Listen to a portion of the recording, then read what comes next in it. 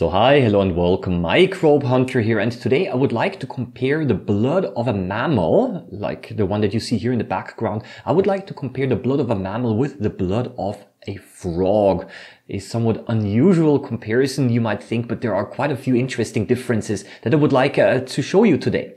Before I show you the differences, I, we have first have to uh, orient ourselves a little bit uh, what we're able to see here. I would like to quickly show you some of the important uh, structures that you see here so that we're able to make a better comparison. Well, first of all, all of those disc-shaped round structures that you see here in the background, you maybe are able to follow my arrow over here. Yeah, these are of course red blood cells. I made several videos of those before. Um, and those red blood cells are very important because they carry oxygen. Um, yeah, all mammals, uh, like, uh, like all other animals, of course, need oxygen and uh, the red blood cells are responsible for that. Now, why do they have the shape that they have? And that is because uh, they're quite flexible. And so their, their flat disc-like shape allows them to deform um, when they try to squeeze themselves through the very narrow blood vessels um, in our body. You can also see that some of the red blood cells, like the one over here, they look kind of strange, okay? Um, and they look kind of pointed. And the reason why this is, is because this sample here already started to lose a little bit of water because it started to dry up beneath my microscope. And this caused some of the red blood cells to lose some water and to shrivel up um, and to form shapes like this. And over the next couple of minutes, um, yeah, then more and more of these are would be uh, would appear. Now there is over here also another interesting cell here. This is a white blood cell, and it looks uh, quite yeah quite a bit more irregular. And this is the reason is is because it's able to change its shape as it slowly moves along. This here now is not a time lapse video, therefore we're not able to see its movement quite uh, yeah quite easily, but it does move around uh, slowly. And there is now an important difference here that I would like to, to show you here between the red blood cells and the white blood cells is, and that the red blood cells, yeah, they look kind of very transparent, homogeneous on the inside. Yeah? You can see that sometimes the red blood cells overlap each other as they stack on top of each other, um, and you're able to see through them. The white blood cell over here, however, not. It looks very yeah, granulated and there are some dots in there.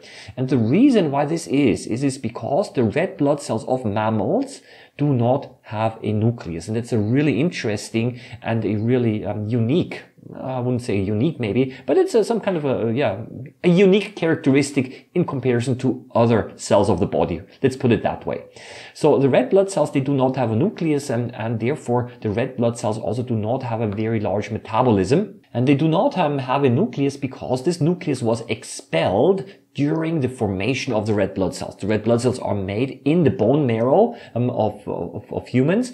And uh, during the formation of the red blood cells, the, uh, the, the nucleus was removed um, so that there is enough space for hemoglobin. Hemoglobin is the protein that carries the oxygen. So you see that the red blood cells are very efficient in carrying, um, carrying oxygen. So now how is this, uh, how is this comparing now to the blood of, of, let's say, a frog? Yeah, this here is the blood of a frog. And of course, we also see a lot of uh, red blood cells, but there is one striking difference, very important difference. And that is, is that uh, each one of the red blood cells, if you look carefully, yeah, it has this dot, this oval dark purple dot in the center, and that is the nucleus. So the red blood cells of frogs and also of birds, um, yeah, have a nucleus. And this means that this space is not available for carrying oxygen uh, over hemoglobin. Yeah. And uh, yeah, why, why, is that? And the reason is, is that frogs are also able um, to absorb oxygen over their skin. So they do not um, exclusively rely on the blood uh, to carry oxygen. Yeah. So what significance does this now have? Well, the thing is, is that uh, cells um, that still have a nucleus, like the red blood cells of, of frogs, are still able to divide.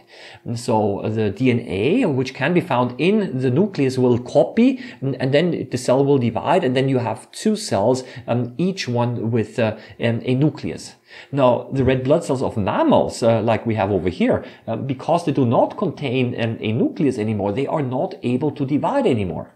So that's basically they live for around 120 days and then they're broken down again and then you have new ones. Uh, but the question now is, is, well, if they do not have a nucleus, the red blood cells, then how could you even make them in the first place? There's an interesting process here. During uh, hematopoiesis, that's the term used to describe the formation of blood cells. During hematopoiesis and during the formation of red blood cells, there was an irregular, or not, I wouldn't say irregular, but rather an asymmetric, I think that's the better term, an asymmetric cell division. So you had an original cell, which is going to form the red blood cell, and this uh, cell contained a nucleus, and then, um, yeah, there was a cell division, and it was asymmetric in the sense that one cell got now the nucleus, and the other cell didn't. And so, uh, and the cell that did not get the nucleus then became uh, the red blood cell, which was then packed full with hemoglobin to carry oxygen.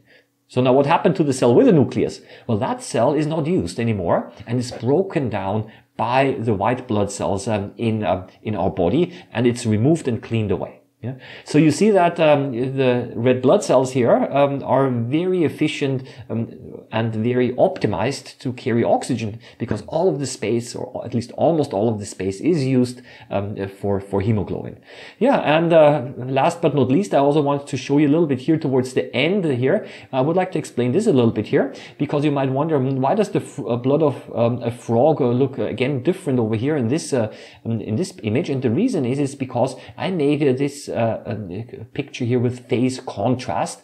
Phase contrast microscopy is a method um, which allows you to see transparent objects better. And this one here is, is in regular bright field. Um, but in both cases, you're able to see that there is a nucleus uh, in the center um, yeah, of, uh, of each one of the red blood cells.